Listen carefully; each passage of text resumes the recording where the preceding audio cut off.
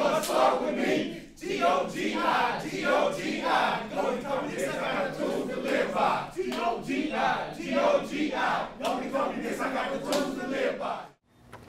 All right, gentlemen, we're going to call this GOGI meeting to, uh, to order. Uh, We're going to do a recap of what, uh, we got tools of the body, and we're just going to go through each of the, of the sections so we have our own interpretation of what it means to us and how it applies to our lives. So with that said, I mean, before we move on, um, I'd like to read our GOGI purpose. The purpose of GOGI is to provide simple tools to everyone interested in making more positive decisions in our lives.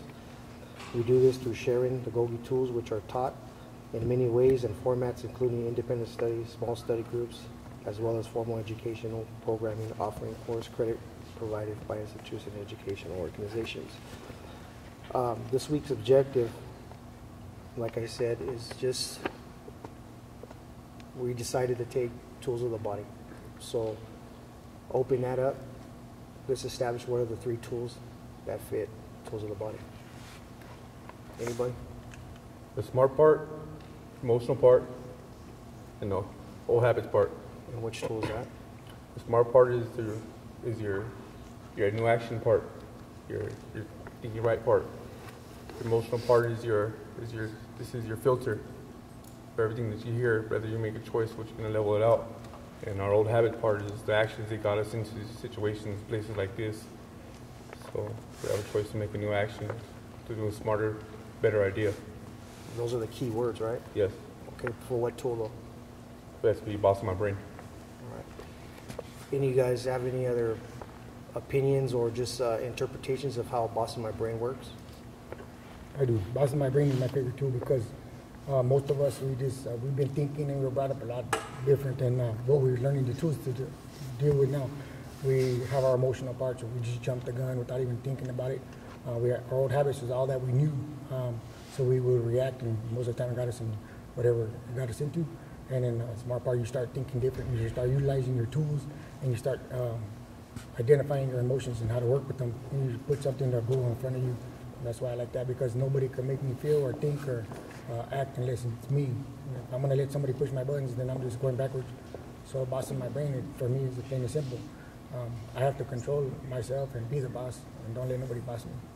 As far as my thoughts and actions. Okay, so anybody else got any more feedback on uh, on their on their feeling or sentiments about bossing My Brain? I like bossing my brain because I'm in control of my brain. I'm not the next person getting some of my thoughts, emotions to control me. So I've learned how to uh, to get a better understanding uh, of, from the emotional part when someone's talking to me, and, and, and just put them to a side and be the boss of my brain, and not let them dictate my emotions. Thank you. Thank you. All right. Um, the next tool, the second tool, or tools of the body is Belly breathing. belly breathing. Anybody got any take on that one? Me personally, that's my that's my tool. I mean, I, I find uh, I, I, I find I find I find comfort in it because I'm able to breathe and, and I'm more in control of my emotions that way.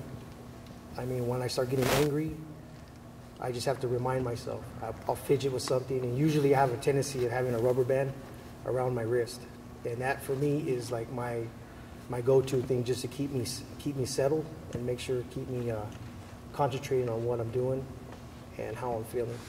Um, like I told you guys, I, I've shared it before. I just kind of like uh, all you have to do, understanding belly breathing, you can walk the yard and you can see people how they breathe and you see what the type of conversations they have. And for me, I find comfort in it knowing that, hey, man, you know, everybody's on the same page, and that's a good thing. And for me, dealing with any kind of situation for myself and when I'm dealing with at home or just, you know, even my homework and stuff, I just, I, I take pause and take a deep breath and, uh, uh, and I'm, I'm in control. And I do feel a lot more confident in myself and my action and my decision making when I do that. You know, for the most part, there's days that you guys are going to see me. You have seen me with four or five rubber bands, but it's all good. You know what I mean? So, but hey, you know what I mean? There's none today, so I'm good. But uh, for me, that's my tool. You know, and that's how I take it. You know, um, it, yeah, that's mine. Anybody else? And the, the, the key word, I guess, would be one hand on my chest, one hand on our stomach. Which one is moving? When our belly, when our belly's moving, we're more focused. We have oxygen, to, oxygen to the brain, so we can process our thoughts better. It's also a really good tool for me. It's Like breathing. about and that's, uh, You right? You done? I was like, uh, we've been hearing this since we were kids. Stop, breathe, count to ten. Something you hear over and over and over. Everybody's been telling us since I was little. Um, I- I heard it. I didn't. I didn't know what they meant really. Uh, just trying to calm me down and keep me quiet. But when you see the tools and it tells you like focus on something, concentrate on your hand, concentrate on something. Then once you start that breathing, you can start getting rid of some of that thoughts out. But it's something that was man, I, all of us have heard it. I'm pretty sure. Count to ten is when I first read it in the book was like made me laugh. Like man, what kind of stuff am I reading? But when it starts to show you how to use the tools and start to really do it, and then the yoga and all the little stuff that I've been hearing throughout the years, boom, puts it in, in, into perspective, and it really helps because it does give you that second to just calm down. That- That's one of the same things when I, was younger, same thing. My aunt always would tell me, hey, count to 10, count to 10, you know what I mean? And I, you never even, you never even thought about it. Say, ah, whatever, you're just crazy, right? But, but, uh, you know, as you start to get a little bit more mature and start understanding it, you realize that, you know, you've been told, we were instructed all these tools, we were taught these, we just didn't know how to apply them.